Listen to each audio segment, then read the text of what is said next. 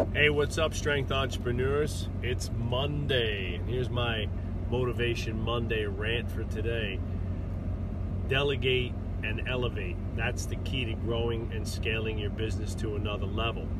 I came in today, my normal time, I get in the gym about 7:45 or so. Um, I had a crew out at another job site working, training a team. I had a crew in the gym working, training the team. On Mondays, I come in and I do. I get caught up from the weekend.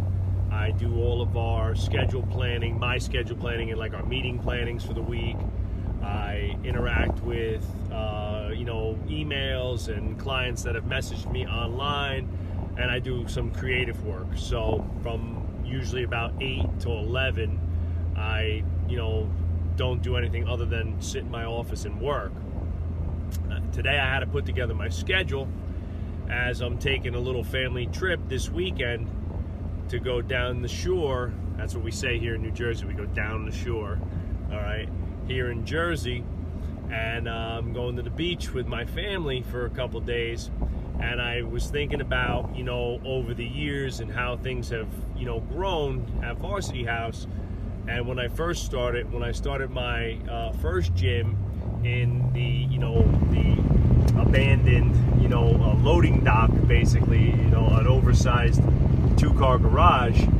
Um, you know, I was all by myself. So anytime I took time off, I didn't get paid. I didn't have members at the time. Everything was by session and and you know if I took a week's vacation, there was zero dollars for the week. You know, and I remember the conversation I was having with Dan, my partner, when we first got together, and he was like, "Hey man, just think about it. Like now, now if you go away, like I'll be there to pick up slack." And I was like, "Holy shit!" I was like, "That's amazing," you know, because the first three years I was in business by myself, I maybe took a total of ten days off uh, you know, just because I had clients, you know, I was hungry for money. I'm trying to grow the business, and when I was away, there was zero cash. So, delegating work to improve and grow your business is really the key and the, to longevity, longevity and long-term success. In the fitness industry, like most gym owners, you're wearing every hat. You know, head of programming, head coach, head of sales, head of marketing, head of business management, you name it, you're doing it all, right? And like most gym owners, at some point you get frustrated with what we like to call the coach owner paradox, and that's the inverse proportional relationship to the amount of business the company is doing versus the amount of time you can spend working on the business. They're inversely proportional, meaning that the busier you get, the busier the business gets, the less time you have to work on it, right? As the coach owner. So you have to delegate, you have to hire people in order to grow to another level. Now, if, if you're okay just being the guy and you don't want to grow and you just want to have a couple clients and you're willing to keep it small, that's fine. But like a lot of gym owners, you know, there's not enough revenue to just work solo. And then so you if you own a brick and mortar gym you're going to have to hire people. There's bills to pay you know there's there's either a mortgage or rent. There's all sorts of bills that have to be paid every month. And you want to grow and you want to make a certain amount of money. So hiring people is key so that's allowed us to you know expand into areas that we never would have it's also allowed us to improve the quality of work most people think that scaling a business and growing a business means that your quality goes down. But here's how it's not the case at Varsity House and that most of the people that we work with. Because we hire good people that are passionate about certain things. And when you put somebody in charge of something that they're passionate about, they're going to do that with 110% of their effort, right? As opposed to you as the gym owner putting 30 or 40% into five or six different things, right? It's just impossible to do those things really, really great. So wouldn't it make sense if you train somebody up to like let's just call it an admin to do your scheduling, your billing, your filing, all your onboarding clients and all that BS stuff that none of us like to do anyway. And they're going to be awesome at it and they're going to do a great job and they're going to deliver A plus customer service instead of me, I know this I'm speaking for myself, instead of me staring over your shoulder while you're talking to me because I'm thinking about a group I coming in that's coming in to train or an email I have to write or uh, or something like that, something that's in my eyes higher up the ladder of need. Don't be that guy. Hire out, make somebody in charge of something. Look at Coach Mike who works for us. He's in charge of programming. He loves it. He does a phenomenal job with our athlete programming.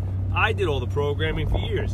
I, I taught Mike how I did it, and Mike's taking it to another level. Why? Because that's what he's in. That's that's his main role is co- is developing the programming for the for the company and coaching the other coaches. Those are the, his two main duties, right? And just being an awesome dude, right? So super important. Adam, operations manager, he's taking a whole pile of things that I used to do, and now he does those. Why? Because I was starting to slip a little bit. I, yes, I admit it. I slipped just like everybody else. I had higher level things that I was working on. So the little day to day minutiae at the front desk and keeping track of KPIs and sales at the front desk was starting to kind of be wane. Adam took it over. Now it's locked down tight. We just had our absolute best quarter ever at the front desk. We're approaching 25,000 in sales at the front desk. That's just smoothies, t-shirts, and supplements. So not a not a not a bad deal. Okay, so again, a great example of delegating work to elevate to another level. Here's some things to think about when you delegate work or you want to hire somebody. One, start super small. Start with an admin. Start with day to day things that are easy to offload. It's easy to find somebody who's good at scheduling, filing, you know, bookkeeping, than it is to hire uh, an A plus coach. It could take years to develop and hire a world class coach. There are a lot of really good office managers and admins out there for you to find, and that will alleviate a shit ton of work and stress from your plate. Two, hire smart. Make sure you do your due diligence. Don't hire shotgun because you're desperate. Hire the right person for the right seat. Don't just throw somebody in there. Don't just hire somebody from the gym or a friend. Hire the right person. Do your homework. Okay? Number three, make sure, okay? Number three, make sure that everyone knows their expectations. Set up clear and distinct duties, roles, responsibilities, right? Have 30, 60, 90 day checkups. Make sure they know exactly what they're getting into and and you and you're not standing around saying, What the hell are they doing all day? Right? So you know exactly what's going on. We do vision traction organizers for every employee every quarter so that they have something that they're working on. We have a roundtable, everybody makes their own, then I go around the room and check them, and then that allows us to kind of like, you know, everybody has their own say, what they think they should be doing, and I tell them what they, you know, what I think they should be doing, and we kind of all meet in the middle. It's a great way to keep people on track and focused, okay? Number four, offload sales last. Offload the big picture important clients, the big picture sales items, and the creative stuff last. As the entrepreneur, you're probably the one that has most of the big ideas, that was the good salesman or has learned to be the good salesman over the years of training. And that's also directly tied to revenue, right? So I, I know as the gym owner, that was one of the last things that I was afraid to give up. So those are just a couple of quick, simple things that you can do to, to offload and delegate work to another person. Start with an admin, then work on giving duties, roles, and responsibilities to your higher level coaches and things like that. Create your advisory board team, right? And watch your business grow, grow, grow. At the end of the day, strength entrepreneurs, as as the owner, leader, CEO, head entrepreneur, it is totally 100% up to you and you only to make sure that you lead your team just like you would lead one of your clients to greatness. You want to be their mentor, you want to inspire them, and you want to constantly give them goals to hit, and you have to lead the way. Nobody else. Nobody's going to do it for you.